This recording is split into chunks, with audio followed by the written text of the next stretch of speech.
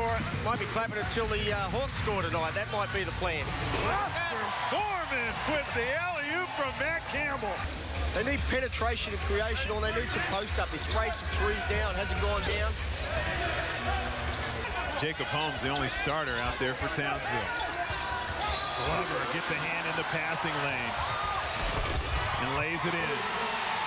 Sherron Glover getting it done on the defensive end. And we'll just look at here. When you see a, a three-man straight away get a mismatch on a two, such as Matty Campbell, and they go to him straight away. Cedar.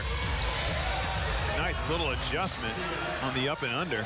Tyson Demos had to launch that long three with pressure because there was one second left on the shot clock. Mims has a shot clock by Tyson Demos.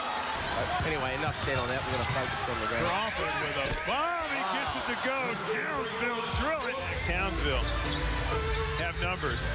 Nice pass up high to Luke Schenscher, and he doesn't bring it down.